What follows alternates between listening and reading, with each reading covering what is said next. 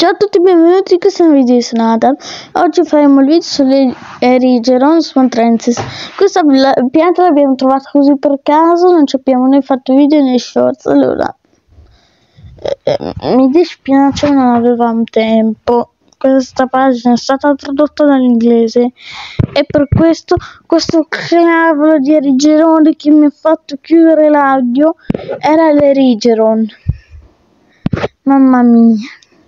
L'Erigeron sumatrensis, sinonimo con Izza sumatrensis, è un'erba annuale probabilmente originaria del Sud America, ma ampia ampiamente naturalizzata nelle regioni tropicali e subtropicali, considerato un'erbaccia invasiva in molti luoghi.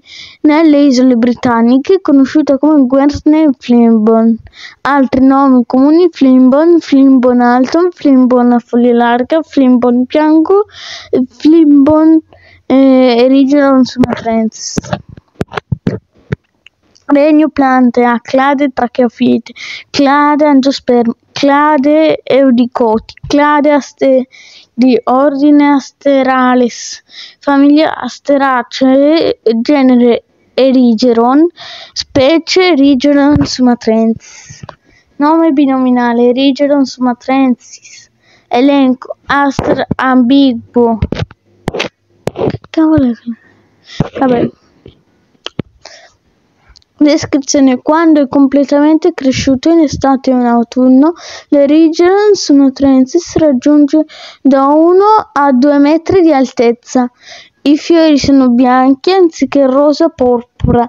Le sue foglie sono come quelle del dente di leone ma più lunghe, più sottili, più simili alle foglie di primula per colore e consistenza. Le famiglie, le, ah, non le famiglie, le sue stesse sì, le famiglie, perché le piante adesso hanno, hanno pure le famiglie, no sì, hanno. Che cavolo sto dicendo? Ho capito che hanno le famiglie in modo strano. Mancano gli insetti che vengono, prendono il polline, escono e impollinano tutto e... ed è questo. Alcune volte si devono staccare, si ammazzano per, per eh, fare una famiglia, così chiamata.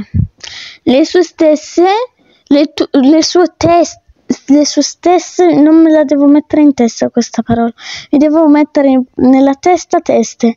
Le sue teste di semina sono come i denti di leone ma color paglie più piccole. In alcuni paesi la pianta ha iniziato a mostrare resistenza agli arbecidi. Distribuzione probabilmente originario del Sud America ma ora è naturalizzato in Nord America, Europa, Africa, Asia e Australia Australasia in tutto il mondo. Costituisce una minaccia significativa alle aree conservate della fauna selvatica e altre riserve in, in Gran Bretagna tra le specie non autoctone di Conizza è la seconda più abbondante dopo Erigeron canadensis e si trova tipicamente a Londra nel sud-est dell'Inghilterra.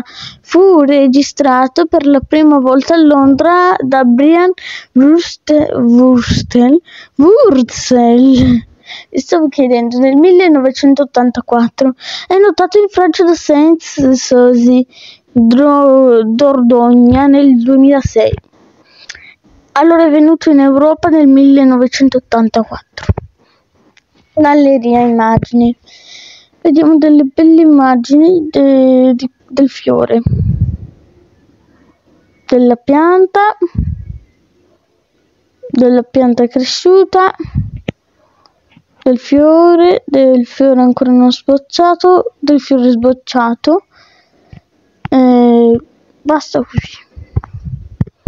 Se vi è piaciuto questo video mettete tantissimi like, iscrivetevi al canale. Bye bye, ciao!